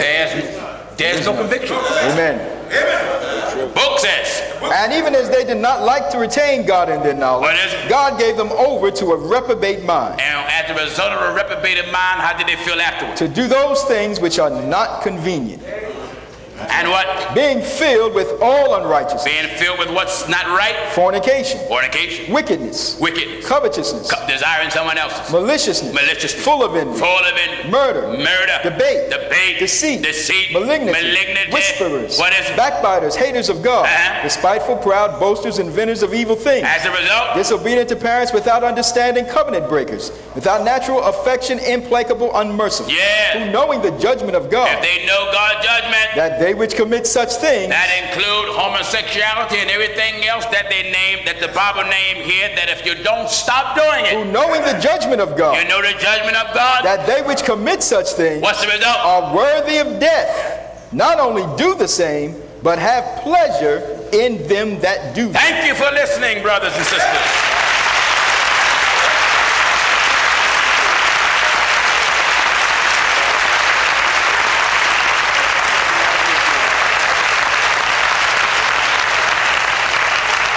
Again, we want to thank, we want to thank uh, Brother Harry Knox for being here. We thank him for coming. Uh, we thank him for taking the time out to have this discussion. Greetings. Uh, this is Brother Dan Thompson of the First Church of Our Lord Jesus Christ. Uh, we've just uh, witnessed a, another discussion between Pastor Jennings and this time uh, the gay community, uh, Brother Harry Knox. Uh, we're going to try, as usual, to get a few comments from those that were in attendance uh, at our meeting today. Uh, what's your name, brother? Uh, my name is Usman. Where are you from? I'm from South Jersey, right across the bridge in Lindenwold. Uh, tell me what you thought about Pastor Jennings' preaching today. It was, as always, very good. I've always, you know, I've watched Pastor Gino Jennings over five years now, and I've always been very, you know, uh, drawn to his preaching because he really preached from the Bible, and majority of, you know, everything he talks about is based on the Bible. So I really enjoy the program. Do you believe that Pastor made a fair presentation of what the scripture speaks about homosexuality in his discussion with Brother Knox? Oh yeah, most definitely because you know everything everything he said was really based on what the Bible says, and um, you know I respect Brother Knox, Knox but you know it, it never really state exactly where the Bible says it's okay to be you know gay. So I really believe, and I believe that it's not God's will to be you know for men to marry men. Uh, what's your name, brother?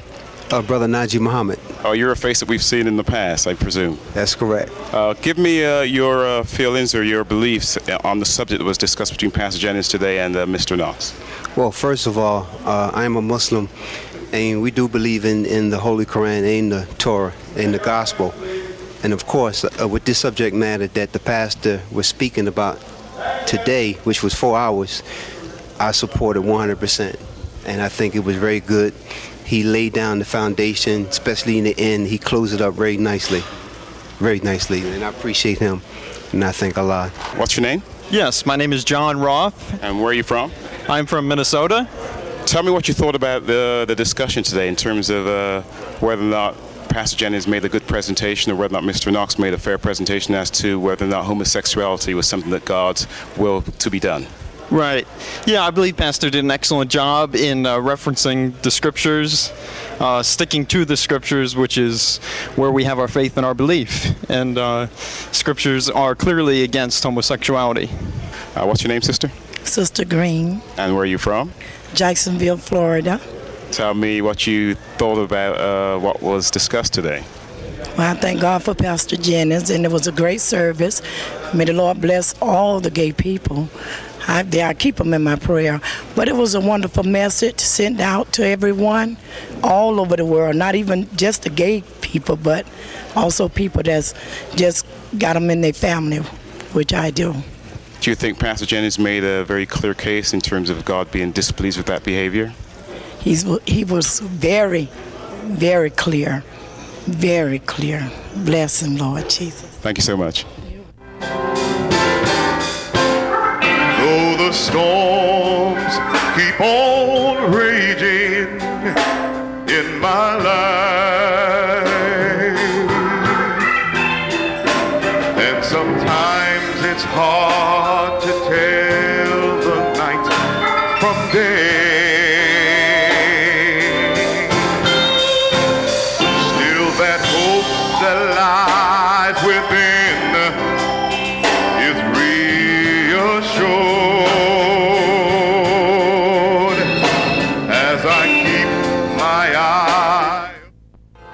have been watching the Worldwide Truth of God television program with the apostle and servant of God, Pastor Gino Jennings of the First Church of Our Lord Jesus Christ. This program is intended to enlighten and edify you about the Holy Scriptures and the will of God for the salvation of your soul. Give careful consideration to the many subject matters of this program and join us each week for the truth. Peace be unto all. Proceeding was a paid program brought to you by the First Church of Our Lord Jesus Christ. The opinions expressed were solely those of the sponsor.